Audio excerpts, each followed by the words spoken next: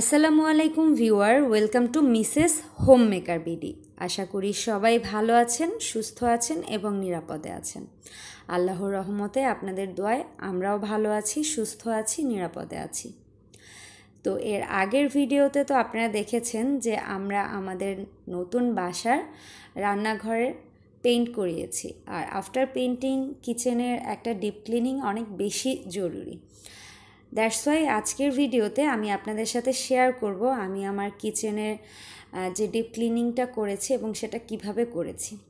তো আজকের ডিপ ক্লিনিংয়ে থাকছে জানালা, জানালার গ্রিল এই যে অংশগুলো আছে, এই অংশগুলো কিচেন সিঙ্ক তারপরে হচ্ছে গিয়ে গ্যাসের চুলা এবং তার পেছনের অংশটা আমি কীভাবে ডিপ ক্লিন করছি। সো এই যেটা দেখতে পাচ্ছেন জানালার গ্রিলের অংশ, এটা হচ্ছে সিঙ্কের পাশে। সো ওই জায়গাটায় পানি পড়ে পড়ে অবস্থা হয়েছিল। এই জন্য আমি আসার পর থেকে একটা কি বলব, ওটা হচ্ছে টাইলসের একটা টুকরা দিয়ে ঢেকে রেখেছি যেন পানি পড়ে জায়গাটা আরও বেশি খারাপ অবস্থা না হয়।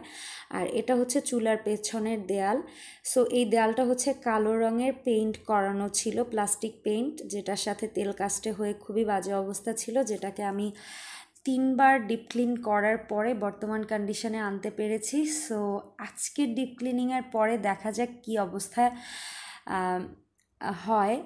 যেহেতু এটা করার জন্য অবশ্যই একটা শারীরিক স্ট্রেংথ দরকার। আর আজকে হচ্ছে গিয়ে এটা ক্লিনিংয়ের ক্ষেত্রে আপনাদের ভাইয়াও আমাকে একটু হেল্প করবে। সরি যে আপনাদের ভাইয়া যখন হেল্প করছিল, সেই অবস্থার ফুটেজগুলো নেওয়ার পারমিশন ছিল না দ্যাটস সেটা দেখাতে পাচ্ছি না। সো আমি যেভাবে করে ক্লিন করছি, সেটাই আপনাদের সাথে শেয়ার করছি। এখানে শুরুতেই আমি একটা ছুরির সাহায্যে হচ্ছে গিয়ে জানালার গ্রিলে যে মরিচা বা তেল কাস্টেগুলো আছে, সেটাকে ক্লিন করে নিচ্ছি। আর আফটার লকডাউন আমরা যখন জানালার গ্রিল পেইন্ট করাবো, তখন হচ্ছে একটু সিরিজ কাগজ দিয়ে ঘষে নিলে জিনিসটা আরও বেশি ইজি হবে। দ্যাটস ওয়াই আমি এখন শুধুমাত্র ছুরি দিয়ে এটা ক্লিন করছি। আর একদিনে এত কাজ করতে গেলে হচ্ছে গিয়ে অনেক বেশি পরিশ্রমেরও দরকার হয়, এই জন্য আমি আস্তে আস্তে করেই করছি। কারণ যেহেতু এখানে স্টে করব সো উইকলি মান্থলি কোয়ার্টারলি ক্লিনিংয়ে এগুলো আস্তে আস্তে অনেক বেশি ক্লিন হয়ে যাবে। সেটা নিয়ে আমি অনেক বেশি ভাবছি না। তো যাই হোক এই হচ্ছে আমার ক্লিনিং প্রসেস আর আপনাদের লকডাউন ডেগুলো কেমন কাটছে, আমাকে অবশ্যই কমেন্টে জানাবেন। আর অনেক আপুরা আমার প্রিভিয়াস ভিডিওগুলো দেখে কমেন্ট করেছিলেন যে আমি কেন বাসা চেঞ্জ করেছি। সো আমি এর আগেও একটা ভিডিওতে বলেছিলাম, আমার বাসা চেঞ্জের সবচেয়ে বড় রিজনটা হচ্ছে আমার আরও বেশি স্পেস দরকার ছিল দ্যাটস ওয়াই তো আবারও বলে দিলাম, আর একজন আপু বলেছিলেন যে এটা আমার নিজের বাসা কিনা। তো সে আপুর উদ্দেশ্যে বলছি, না আপু আমি হচ্ছে ভাড়া বাসায় থাকি, এটা হচ্ছে ভাড়া একটা অ্যাপার্টমেন্ট। সো, আই গেস আমি আপনার অ্যান্সারটা দিয়েছি। আর একজন আপু বলেছিলেন যে, আপু, এই কাজগুলো তো বাড়িওয়ালাদের করে দেওয়ার কথা, তুমি কেন করছ? সো, সেক্ষেত্রে যেটা বলব যে পেন্টিংটা বাড়িওয়ালারাই করে দিচ্ছিলেন, বাট আমি বাসায় উপস্থিত না থাকার কারণে হচ্ছে গিয়ে আমার বেডরুম আর কিচেনের পেন্টিংটা বাকি ছিল। তো সেই জন্য ওটা আমরাই করে নিয়েছি, অন্যথায় তারাই করে দিত। আর ক্লিনিংয়ের যে ব্যাপারগুলো, এগুলো বাড়িওয়ালা করে দিতে চেয়েছিলেন। বাট আসলে একটা জিনিস কি স্যাটিসফ্যাকশন বলতে একটা কথা। আমার কাছে এই যে ডিপ ক্লিনিং বা এইসবের যে বিষয়টা, এটা মনে হয় যে আমি যতটুকু হচ্ছে গিয়ে মন দিয়ে এই কাজটা করব সেইটা বোধহয় যারা ক্লিন করতে আসবে তারা করবে না। কারণ এই জায়গাটায় আমি থাকব সো এই জায়গাটাকে আমার দৃষ্টিতে সুন্দর করা বা আমি যেভাবে করে সুন্দর দেখতে চাই, আমার মনে হয় যে মানুষটা এই জায়গায় কাজ করতে আসবে, সে হয়তো আমার মতো করে দেখবে না বা আমার মতো করে ভাববে না। দ্যাটস ওয়াই আমার কাছে মনে হয় যে আমি তার কাজে হয়তো অতটা স্যাটিসফাই হব না। এই জন্যই হচ্ছে গিয়ে এই কাজটা আমি নিজে করছি। আর একটা জিনিস হচ্ছে যে আমি নিজের কাজ বিশেষ করে কিছু কিছু কাজ নিজে করতে ভীষণ ভালোবাসি বা এনজয় করি। আর আমার কাছে এই জিনিসটা অনেক বেশি ভালো লাগে। কারণ আমার কাছে মনে হয় যে আমি আমার হাতের ছোঁয়া দিয়ে একটা জায়গাকে আমার মতো করে গড়ে তুলছি। সো ওইটার মধ্যে একটা ভালো লাগাই অন্যরকম। আই গেস আমি আপনাদেরকে বোঝাতে পেরেছি। তো আমি হচ্ছে গিয়ে জানালার গ্রিলের মধ্যে নিচের দিকে যে অংশটা আছে, এই অংশে যে ডাস্টগুলো ছিল সেগুলো ছুরির সাহায্যে ক্লিন করে দেন একটা ছোট্ট স্পুন দিয়ে বেলচাতে উঠিয়ে নিয়েছি। আর ব্রাশ দিয়ে হচ্ছে গিয়ে ডিপলি ক্লিন করে নিয়েছে। আমি জানি না এটা রাইট ওয়ে কি না বাট আমি যেভাবে করে করছি, আমি সেটাই আপনাদের সাথে শেয়ার করছি। আই গেস আমার চেয়ে আরও অনেক ভালো উপায় আপনাদের জানা থাকবে। সেগুলো আপনারা আমাদের সাথে আমার সাথে শেয়ার করতে পারেন। আর যদি আমার এই ভিডিও দ্বারা আপনারা উপকৃত হয়ে থাকেন সো প্লিজ আমার চ্যানেলটি সাবস্ক্রাইব করে আমার সাথেই থাকবেন। আর ভিডিওতে একটি লাইক দিবেন বিকজ আপনাদের এক একটা লাইক এই ভিডিওটাকে আরও অনেক মানুষের কাছে ছড়িয়ে দিবে। সো এই যে আমার জানালার গ্রিল এবং এই অংশটা ক্লিন করা ডান এখন হচ্ছে গিয়ে আমার চুলার নিচ এবং আশপাশের অংশটা ক্লিন করার পালা। সো যেহেতু আমি হারপিকের যে গুঁড়া পাউডার যেটা আছে ফ্লোর ক্লিনার এটা দিয়ে ক্লিন করব দ্যাটস ওয়াই আমি গ্লাভস পরে নিয়েছি। সো আপনারাও খাট জাতীয় কোনো কিছু দিয়ে যখন ডিপ ক্লিন করবেন, অবশ্যই গ্লাভস পরে নেবেন। এতে করে আপনাদের হাতের কোনো ক্ষতি হবে না। আর দেয়ালটাকে ক্লিন করার জন্য আমি এখানে স্টিলের স্কার্বার নিয়ে নিয়েছি। আপনারা চাইলে স্টিলের স্কার্বার অথবা স্টিলের যে ব্রাশগুলো পাওয়া যায় সেটা নিতে পারেন। সো আমি এখানে স্কারবারের মধ্যে আর পিক গুঁড়ো পাউডারটাকে লাগিয়ে, দেন হচ্ছে ফ্লোরটাকে একটু একটু করে ভিজিয়ে ভিজিয়ে ক্লিন করে নিচ্ছি।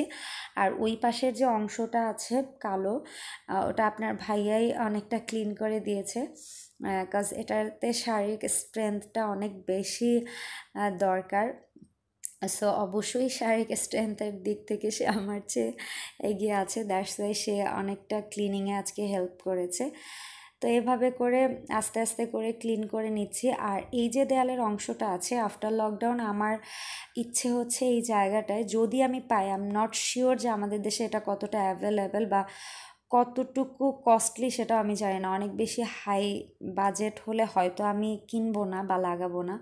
বাট যদি আমার সাধ্যের মধ্যে থাকে, সেক্ষেত্রে হচ্ছে কি আমি যে ফায়ার প্রুফ বা হিট প্রোটেক্ট যে কিছু ওয়াল স্টিকার হয়, সেগুলো যদি আমি পাই, তাহলে ওগুলো কিনে লাগিয়ে নিব। আর যদি ওটা অনেক বেশি কস্টলি হয় সো সেক্ষেত্রে আমি এভাবে করেই রাখব। বিকজ এভাবে করেও দেয়ালটা খুব বেশি খারাপ লাগছে না আমার কাছে যেটা মনে হচ্ছে। ক্লিন করার পর বেশ ভালোই লাগছে।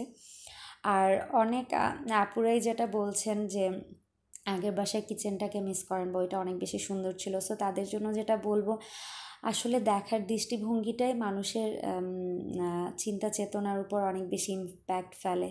ওই জায়গাটাও কিন্তু আমি আসলে ওরকমভাবে গিয়ে পাইনি। ওটাকেও আমি আমার চিন্তা, রুচি বা আমার আইডিয়া বা আমার কি বলব যে, কাজ দিয়ে সাজিয়ে নিয়েছিলাম। দ্যাটস হয়তো আমার প্রিভিয়াস কিচেনটা আপনাদের অনেক ভালোবাসা পেয়েছে। বা সেই কিচেন ট্যুরের দ্বারাই আমি আপনাদের এতটা কাছে আসতে পেরেছি বলে আমি মনে করি। তো আমাকে একটু সময় দেন আই গেস আমি আমার কি বলব যে রুচি, পছন্দ বা আমার যতটুকু আইডিয়া বা যতটুকু সাধ্য আছে সেটা দিয়ে এই কিচেনটাকেও আমার মনের মতো করে গড়ে তুলব আর সেটা আপনাদের কাছেও ভালো লাগবে।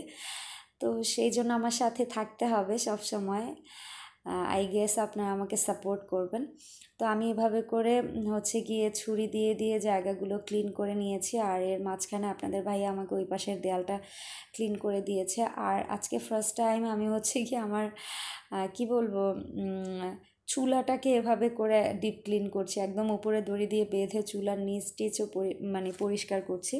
আর আমার এই বাসার কিচেনে একটা ভালো দিক হচ্ছে, একদম কিচেনটাকে যদি গোসলও করানো হয়, তো পানিটা ওই কর্নারে গিয়ে জমে এবং সেটা বেলচা দিয়ে নিচে ফেলতে খুব ইজি হয়। সো এই পাশের কোনো কিছু নষ্ট হয় না বা ভিজেও যায় না।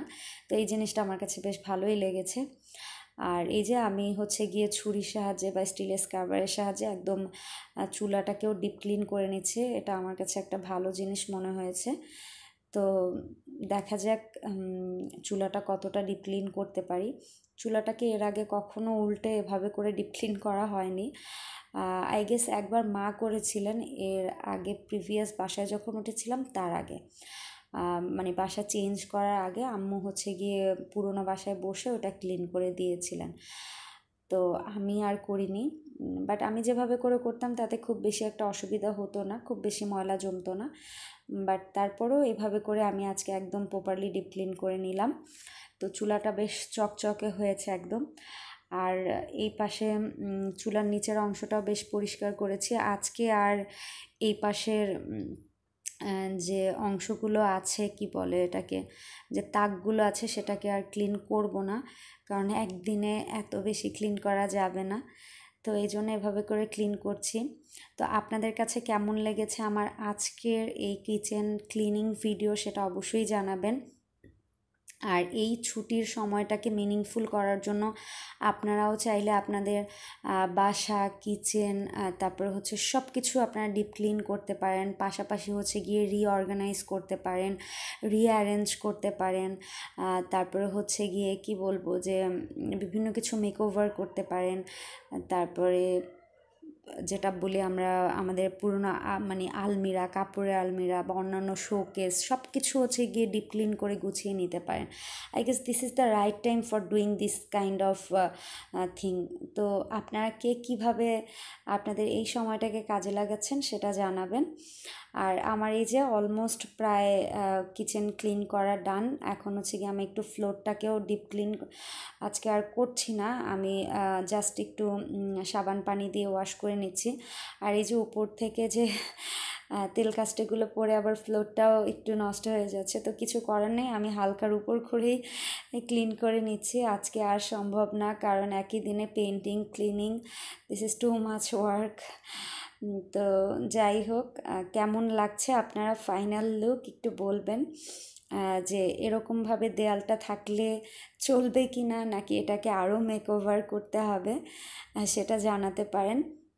আর অনেকেই আমার কাছে কিচেন ট্যুর চাচ্ছেন, আমাকে একটু সময় দিতে হবে, একটু অর্গানাইজ করার জন্য। আমি প্রপারলি হান্ড্রেড পারসেন্ট অর্গানাইজ না করতে পারলেও সমসাময়িকভাবে যতটুকু অর্গানাইজ করতে পারব, সেটা আপনাদের সাথে রিসেন্টলি শেয়ার করব।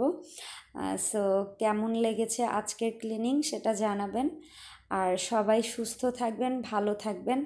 আর বাসায় থাকবেন, বাসায় থেকে প্রোডাক্টিভ কাজে আপনার সময়টাকে ইনভেস্ট করবেন। সেই প্রত্যাশায় আজকের ভিডিওটি আমি শেষ করতে যাচ্ছি। আর সকলে সুস্বাস্থ্য ও মঙ্গল কামনা করছি।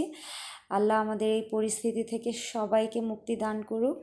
আর আজকে ভিডিওটা পাবলিশ করতে করতে যেহেতু পহেলা বৈশাখ হয়ে যাবে সো সবাইকে বাংলা নববর্ষের শুভেচ্ছা। সবাই সুস্থ থাকবেন। আল্লাহ হাফেজ। আসসালামু আলাইকুম।